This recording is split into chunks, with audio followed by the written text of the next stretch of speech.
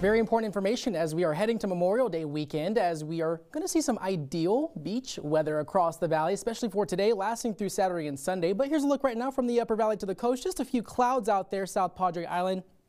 Mostly clear skies out in Edinburg.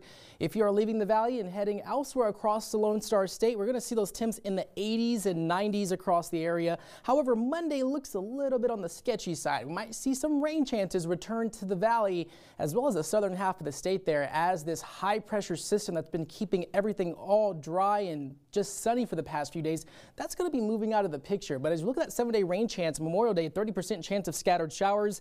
And then ultimately through uh, much of next week, we're going going to keep that rain chance there, all thanks to these disturbances that are going to be moving in from Mexico there. But very quiet across the southern half of the state, so uh, there is a disturbance moving through the panhandle that will uh, be fizzling out and dissipating as we head into the next two or three hours. But highs in the 90s, lows in the 70s with increasing clouds. But as we go into Sunday there, we will see mostly cloudy skies for Sunday lasting through Monday. But like I said, when we head into Memorial Day, we very well could see those disturbances move move in from the west that could spawn off a storm or two as we go into Monday morning. So uh, isolated showers expected for Monday afternoon and each and every day having that potential for that rain chance uh, as we go into much of next week. So we're going to see some peeks of sunshine, but just uh, expect a shower or two as we go into much of next week with those conditions remaining mostly just a bit on the muggy and hot side. When you factor in the humidity, just keep in mind that the humidity